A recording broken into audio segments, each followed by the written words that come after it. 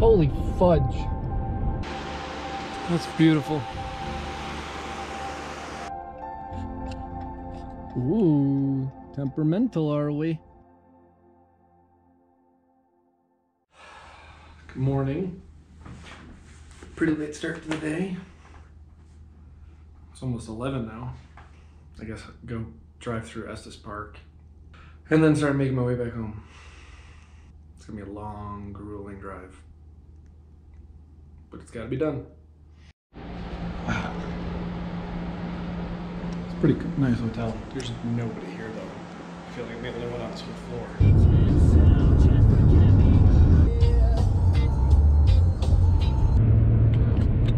Starting to see the mountains over there and it looks a little sunny maybe at times.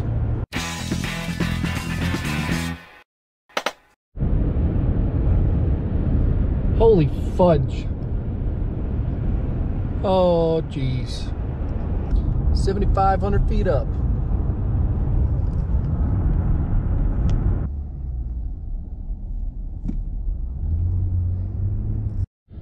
So we're at the Stanley. This is part of it. Um, I don't know if there's any like guest parking or not guest parking. Let's try the other side. Not gonna be able to get in.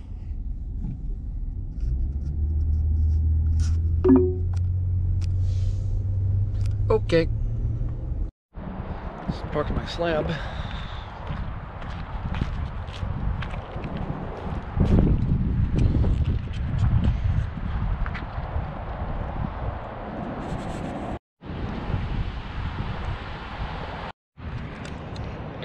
Well, as you can see, I got way too many souvenirs. But how often are you in Rocky Mountain National Park? That's pretty neat. How neat is that? New hat, what do you think?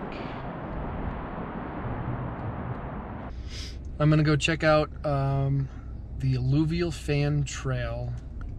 It was recommended by the lady who took all the pictures of me doing the balance rock a couple days ago. She said, you gotta go check out that. It's super cool and pretty easy to get to, so let's see how it goes. Rich people. Jeepers crepes. We are officially in the national park now. So that's kind of cool. We are at the very beginning, but still in the Rocky Mountain National Park.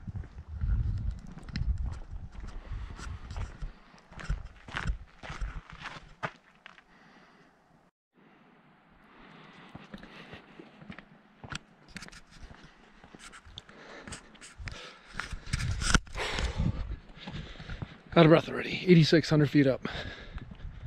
Takes a lot out of you.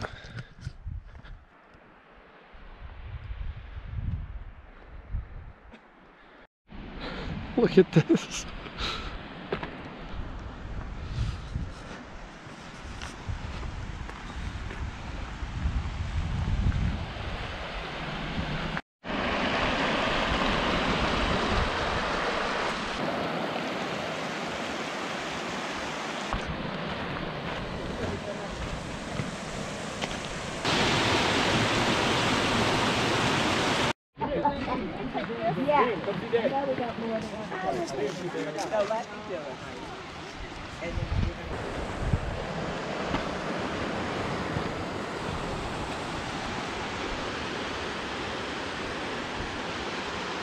That's beautiful.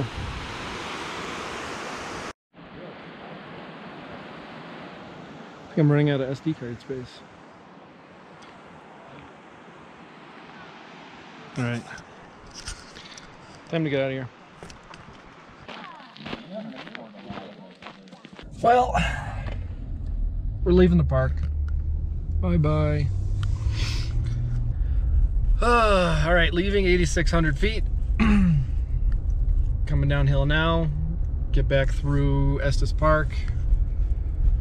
And uh, get back to the Great Plains and have a boring drive for most of the rest of the way.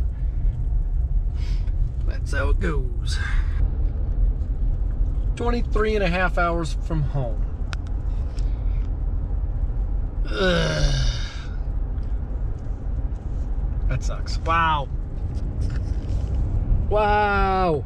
Oops, something went wrong with the connection. I bet Try it did. again. Shut up. Ooh, temperamental, are we?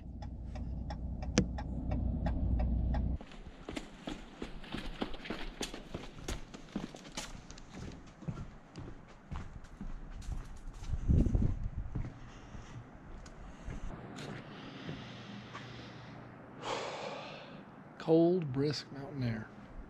Look at this mountain behind me. Nice little visitor center here. This truck's been amazing on this trip. Thanks, buddy. Wow, that was an elk. I don't know if you caught that. Look at these places, my God. That was a big ass elk. Future Paul, look at the difference between an elk and a deer. 4,900 feet right now. Bye bye mountains. Hello, the rest of Colorado. Welcome to Nebraska. Thank you. That's called the South Platte River. I wonder if that's the same one that I was uh, traveling on the other day in the middle of Colorado, up near uh, Conifer. I think that might be the South Platte River. I'm at Arby's. Still over three hours away from getting out of Nebraska.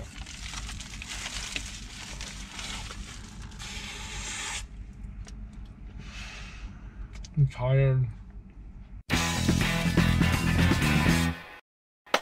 Well, that was the quickest check-in I've ever had. took maybe a minute and a half to talk to that guy. We are in Lincoln, Nebraska. Good morning from sunny, windy, and cold Lincoln, Nebraska. I'm uh, still almost 16 hours away from home, and I'm not happy. Spent six days in a row now in a different hotel. Always on the move. Nomadic lifestyle. Baby. Welcome to Iowa. Thank you. Welcome to Illinois. Thank you. Welcome to Indiana. Thank you. Welcome to Ohio. Thank you. Ah, I just had an apple and I'm revitalized. I'm ready to rock. Let's go. Also had an energy drink. Come on down to Cleveland town. Come see what the place where we used to have industry. Welcome to Pennsylvania. Thank you. I missed it, but we're in New York now. Eh.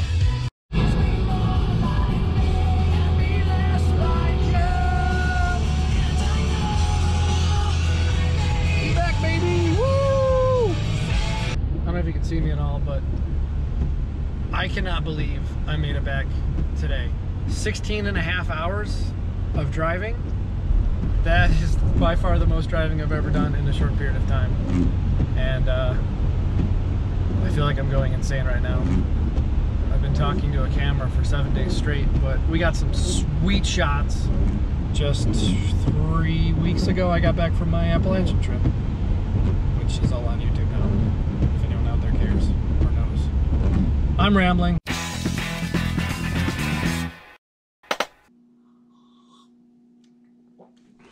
This doesn't even taste good.